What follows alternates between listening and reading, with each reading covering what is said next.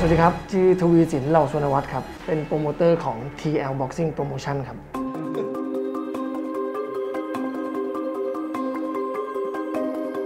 ตอนแรกเนี่ยผมยังจัดทันอยู่ คือผมได้จัดตอนเดือนมีนาคมของปีที่แล้ว และหลังจากนั้นเนี่ยก็เป็นการ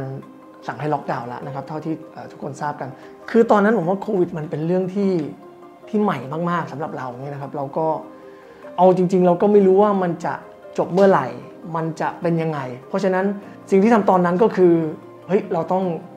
ดูแลเรื่องสถานะบริษัทเราละนะครับเรื่องค่าใช้จ่ายต่างๆ เราก็ต้องเริ่มช่วยนักมวยแล้วว่าเอ้ยแต่ละคนประสบปัญหาอะไรบ้างนะครับในในช่วงแรก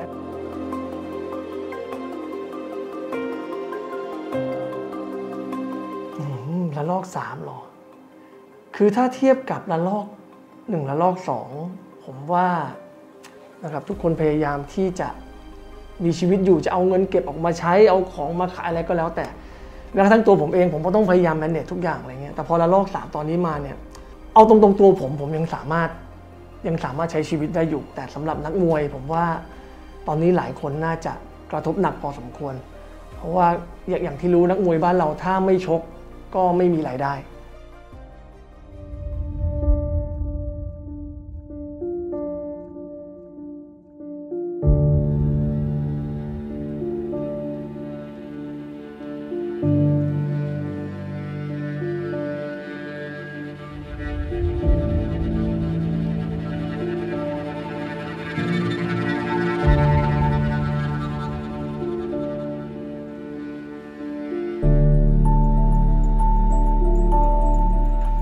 ตั้งแต่โควิดเข้ามาครับ